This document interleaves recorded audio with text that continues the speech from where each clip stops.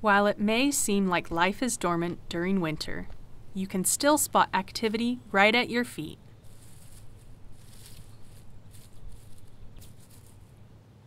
Rock. Dr. Melina Kozanitas is a postdoctoral researcher who studies fire, plant pathogens, and mycology. She often lends her time and expertise on fungi to students and mushroom enthusiasts alike.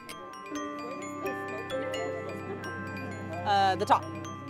Turn it upside down. Yeah. I feel it's important to educate people about fungi because fungi have really gotten a bad rap in Western culture. Uh, we're taught to be really fearful of mushrooms as kids. Another reason it's important for me to share information about fungi is to help people realize how much diversity is out there. And this goes for plants and animals too. We are more likely to want to protect something if we know that it exists. And we have some kind of personal connection to it.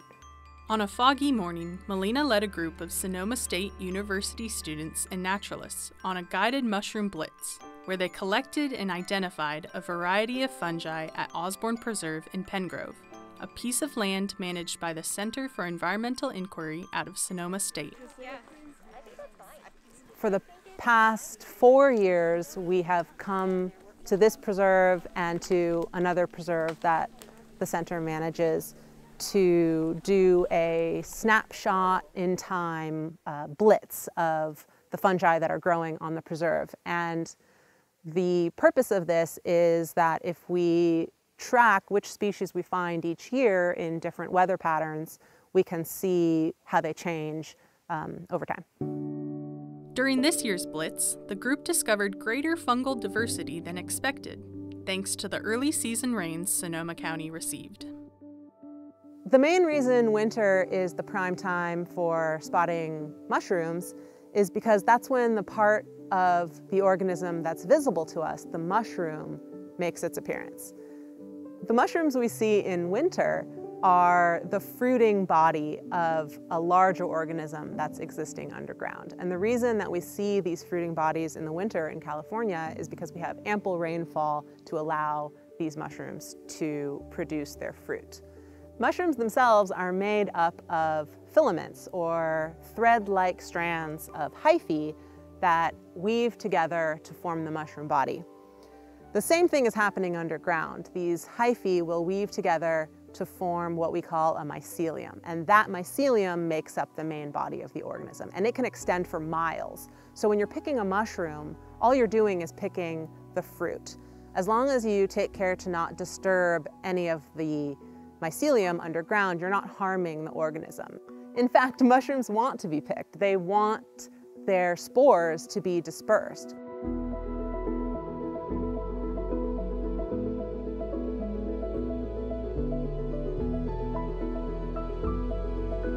So I noticed that the ground was pushed up a little bit here. And when I move the dirt away, we call that a shrump. So it's a mushroom hump, I guess. So this is the one that takes people out every year. So this is Amanita phalloides, the death cap.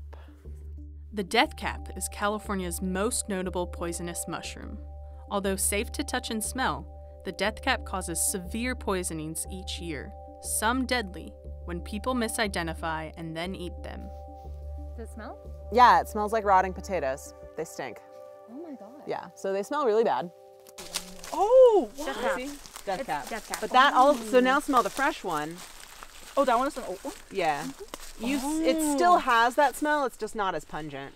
It's like the degree of rottenness kind Yeah. of. Okay. But even when it's fresh, they still have a kind of a little stink. Do you to need it. a bag? No, Oh. go ahead. It's, It's- it won't can't fit. take- Yeah. Okay.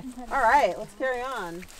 People are continually asking me if it's safe to handle mushrooms, and it is completely safe. Even a death cap is safe to handle. It's really only harmful if it's ingested. One way we identify mushrooms is by taste, and so we'll often take a little nibble of the cap to see if it has a bitter or um, spicy or acrid reaction. and then spit it out.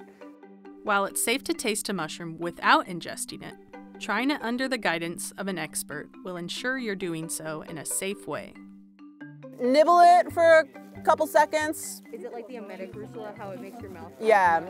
Keep it at the tip of your tongue, the back of your teeth. Nibble it up really good. Macerate it up really good. Keep going, keep going. And then spit it out. And it's, when it hits your stomach acid, right? That's when it's like. yeah, you have to ingest the uh, poisonous mushroom. And these aren't poisonous anyway, so. Okay. Yeah. It's not poisonous? What is it? Uh, this is Lactarius. Spicy? So I thought it was once they touched your stomach acid that you could get sick, but it's deeper down in your digestive system, like in the liver and stuff. That's what uh, Melina was saying. So That's like a good point too about like being able to taste it too Mm-hmm. is because of that whole hands off issue. Yeah. I've even been told when I started getting into mycology, people were saying, "Are you going to wear gloves? Be really careful. Like don't pick anything, don't You touch don't anything." even smell things even. Right, Yeah. and that's the way that you learn. Where human beings were meant to learn hand in a hands-on way in a Mm-hmm. hands-on environment. And so when you don't have that, that's going to produce that fear in people as a society, as a culture. So being in an environment where you're encouraged to do it in a safe way, Mm-hmm. and you're told the steps like what you shouldn't do, what you should do, what you can do, um, kind of opens up and invites you into that world that you wouldn't necessarily have that invitation to otherwise, and wouldn't have that insight. I think part of mushrooms is being able to share, and mm-hmm. Melina's really big on sharing knowledge, and so we're like, Yeah. let's go learn from her and then tell more people. So we're gonna share what we learned here with Especially people. something that's so like mushrooms that is so clicky Right, and like it's so nice to be able to teach this entire group about mushrooms and then like the like there's so many things that we learned today mm-hmm. that Yeah, Yeah. it's not common knowledge, unfortunately. It Yeah. should be mm-hmm. because we all live out here, but Right. it's on us to share it. If you are curious about hunting for mushrooms, there are several steps you should take before venturing out for the first time. Check the regulations in an area before you go, just so you don't end up with a fine. Always double check to make sure that what you have is what you think you have. Um, it's a good idea when you're getting started to check every mushroom if you're in a patch because you could have one sneak in there that could make you sick.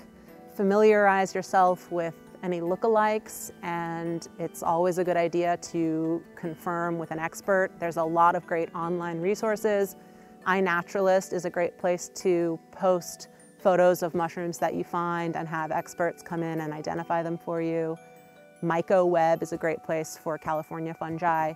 And again, cross-reference with the guidebooks and have fun. Okay, everybody say death cab. Death cab!